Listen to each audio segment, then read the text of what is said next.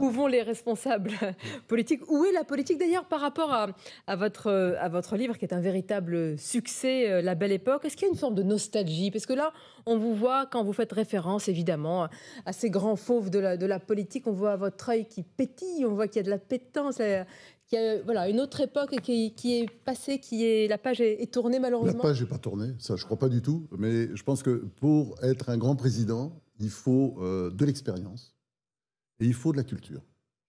Je pense que le problème de Macron aujourd'hui, c'est qu'il manque des deux. Il est intelligent, c'est ce que je crois, parfois j'en doute, mais je le crois. Et euh, il faut à tout prix, comment dire, la culture c'est important parce que ça permet de ne pas faire d'erreurs monstrueuses comme il a pu faire.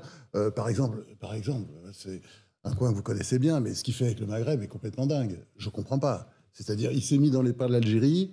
Euh, on a l'impression presque que est en situation de guerre euh, avec le Maroc. Enfin, on ne comprend pas. Tout ça est absurde. C'est un manque de culture qui explique cela Oui, absolument. C'est-à-dire d'écoute, de culture. Vous voyez, quand vous voyez euh, certains grands présidents que j'ai eu la chance de, connaître et de voir souvent, que ce soit Giscard, que ce soit Mitterrand, Enfin, comment dire Ils sentaient, ils savaient, ils connaissaient, ils avaient travaillé avant, Chirac aussi et, là, on a le sentiment que ce sont toujours des pages blanches. Et j'irais presque une page blanche tous les jours. Évidemment, ça, crée d'énormes problèmes. Par exemple, regardez, même l'histoire de Taïwan.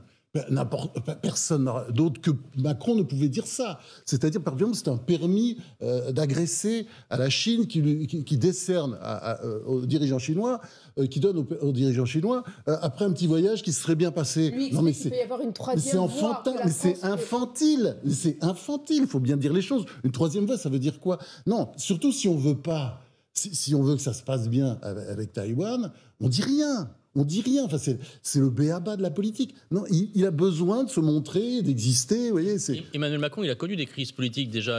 Oui, notamment les Gilets jaunes, euh, qui était une, période très difficile. Et il a réussi à retourner la situation avec le grand débat national.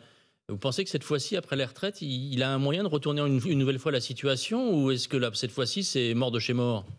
Alors là, c'est effectivement le, France, je cite les anciens, disait toujours un homme politique a toujours euh, tendance à refaire ce qui lui a réussi. Alors là, évidemment, ça lui a réussi. Euh, le grand débat, ça lui a réussi incontestablement. D'ailleurs, il est très brillant à l'oral. Personne ne conteste ça.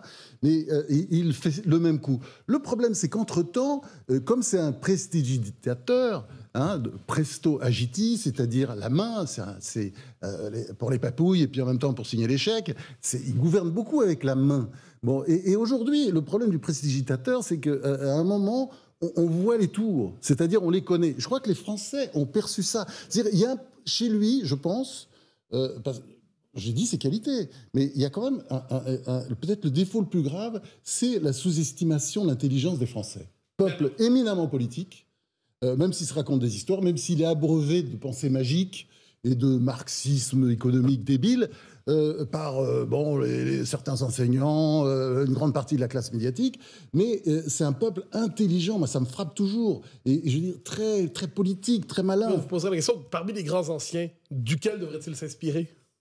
De Gaulle. Mais si c'était De Gaulle. comme réponse. Bah oui, sûr. Mais De Gaulle parce que c'était le meilleur. Et De Gaulle, il serait parti, bien entendu, quand il aurait vu, après les élections législatives de l'an dernier, qu'il avait perdu. Parce qu'il a perdu. Il a perdu. Alors, il n'était pas forcément obligé de le dire, mais il pouvait dire voilà, je lance un nouveau truc, un nouveau projet. Euh, mais là, si vous voulez, avec sa petite ficelle sur pour reprendre la main, on va, on va parler de la vie au travail. Non, mais, c'est quoi ces trucs-là? Et puis après, après, on donne, après, on donne des augmentations aux enseignants. Mais pourquoi ils ne les donnent pas avant ou après Enfin, tout ça, et c'est, on, voit le tour, on voit le tour du magicien. Enfin, magicien avec des guillemets, bien sûr. De, de la main, il gouverne avec la main. Il l'a tendu, euh, la main. Alors, euh, parle pas des, des syndicats, mais il a cherché avec euh, les, républicains, il n'a pas pu euh, compter euh, sur eux, il a voulu essayer de gouverner avec une majorité. Je vous vois sourire. Non, mais c'est parce que vous posez votre question. J'ai fait le métier, je le fais aussi.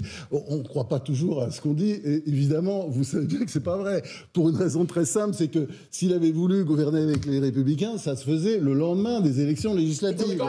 Et ça se fait pas aujourd'hui. Il parle des débauchages individuels, etc. Tout ça, aujourd'hui, il parle de débauchage. Vous laissez aucune porte de sortie. Pour hier. vous lui expliquez parfaitement ce qu'il aurait dû faire il y a un an. Mais aujourd'hui, la situation est tout autre. La situation est compliquée. Ben moi, c'est très simple. Il a perdu, je fais une cohabitation.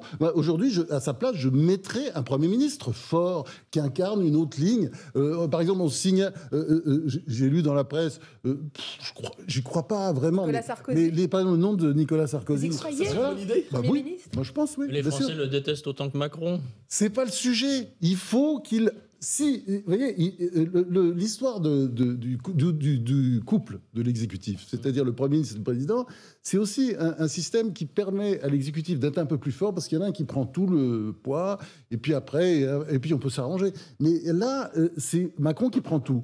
Il lui faut un Premier ministre fort. Mais évidemment, moi je pense que euh, Larcher, ce serait une bonne solution aussi, Gérard Larcher, le président du Sénat. Simplement, évidemment, il ne voudrait pas y aller parce que qui a envie de travailler avec Mais Macron vous pensez que cette Non, nature mais- véritablement a provoqué un, un- un sursaut, un électrochoc euh, C'est pas ce que je veux dire. Je dis qu'il doit, comment dire, avoir d'abord tenir compte du résultat des législatives. Il serait temps un an après, quand même. Ce serait. euh, Sinon quoi?